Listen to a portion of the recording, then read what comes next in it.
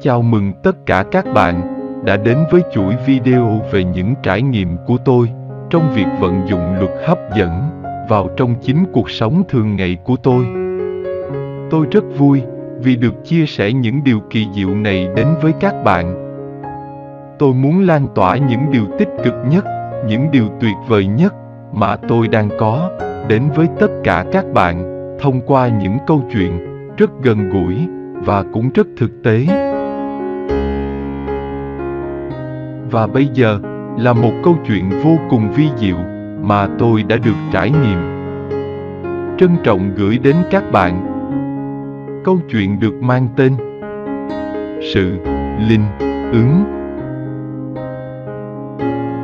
Vào những ngày giãn cách xã hội, công ăn việc làm của mọi người đều bị ảnh hưởng và tôi cũng là một trong số đó.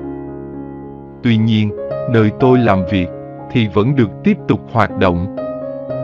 Nhưng việc đi lại khá khó khăn và tôi cũng không an tâm khi tiếp tục đi làm trong thời gian đó. Lúc bấy giờ, tôi cũng không biết phải quyết định như thế nào đây. Nếu tôi tiếp tục đi làm thì liệu rằng tôi có an toàn không? Còn ở nhà thì chắc chắn mất thu nhập và ít nhiều cũng ảnh hưởng đến vấn đề tài chính trong gia đình. Mọi thứ thật khó khăn đối với tôi. Nên tôi quyết định vận dụng luật hấp dẫn và sức mạnh tiềm thức bên trong tôi. Và tôi đưa ra yêu cầu. Tiềm thức bên trong tôi, hãy cho tôi biết điều gì là tốt nhất cho tôi ngay lúc này. Nếu nơi làm việc là an toàn, thì hãy để tôi đi, còn nếu không, thì hãy để tôi ở nhà. Nếu để tôi ở nhà, thì hãy trợ giúp cuộc sống đủ đầy cho tôi và gia đình tôi. Sau khi tôi yêu cầu, thì không hiểu sao, tôi hủy hết các ca làm việc và quyết định ở nhà. Một vài ngày sau, nơi tôi làm việc xuất hiện một loạt ca F0. Khi nghe tin này, tôi lạnh run người. Có lẽ là do tôi cảm thấy hơi choáng váng.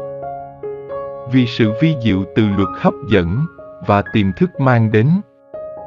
Thời điểm cuối tháng 7 và đầu tháng 8 năm 2021, những ca F0 thực sự là nỗi hoang mang, lo lắng của cả xã hội. Và sự vi diệu chưa dừng ở đây. Tầm một tháng sau, tôi quyết định tiếp tục đi làm lại vì nơi làm việc đang thiếu nhân sự và tình hình có vẻ ổn hơn. Tuy nhiên, khi đến nơi làm việc thì bị căng dây ra vào, xét duyệt các kiểu. Tôi không vào được nên đành phải quay về. Và ngay ngày hôm sau, nơi đó lại có thêm vài ca F0. Nghe tin này, tôi lại rùng mình một lần nữa. Các bạn thấy đấy, đó là sự vi diệu tuyệt vời của luật hấp dẫn và sức mạnh tiềm thức bên trong con người bạn. Mặc dù là ở nhà, không có thêm thu nhập, nhưng bù lại, tôi nhận được rất nhiều món quà thức ăn ngon từ gia đình và những người tốt bụng dành tặng cho tôi.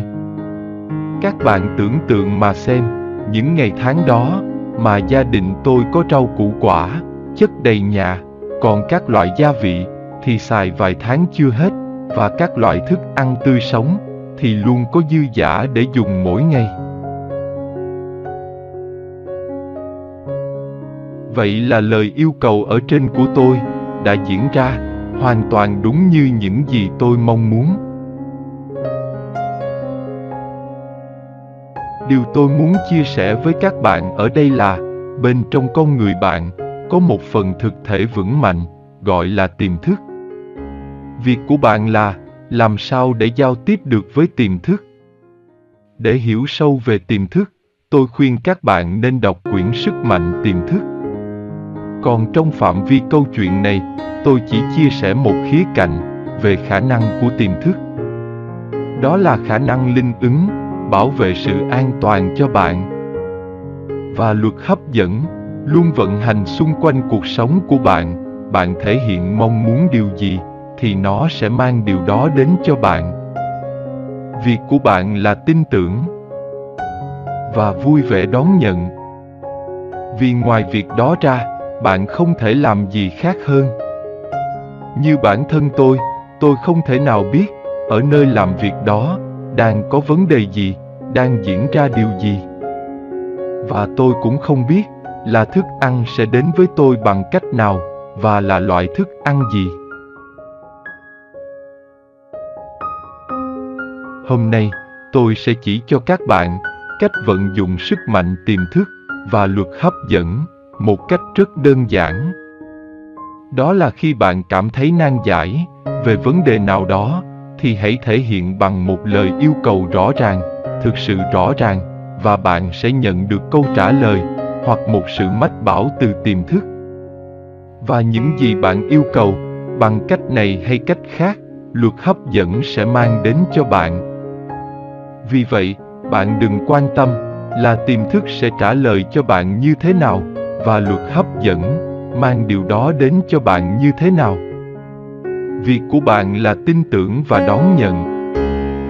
Bởi vì tiềm thức luôn muốn bảo vệ bạn an toàn và sẽ cho bạn một giải pháp tốt nhất. Còn luật hấp dẫn sẽ mang những gì phù hợp nhất với chính yêu cầu mà bạn đưa ra. Mến chúc các bạn luôn biết cách vận dụng sức mạnh tiềm thức và luật hấp dẫn một cách đúng đắn để giúp cuộc sống của bạn tốt đẹp hơn, hạnh phúc hơn và an toàn hơn. Hẹn các bạn trong các video tiếp theo của tôi trong chuỗi video về luật hấp dẫn và những trải nghiệm từ chính bản thân tôi. Bên cạnh đó, tôi cũng sẽ hướng dẫn cho các bạn vận dụng sức mạnh tiềm thức và luật hấp dẫn một cách đúng đắn nhất để có được những kết quả tuyệt vời nhất dành cho bạn. Nếu bạn thấy các video của tôi là hay và có ý nghĩa, thì hãy nhấn đăng ký kênh và chia sẻ đến với nhiều người hơn nữa bạn nhé.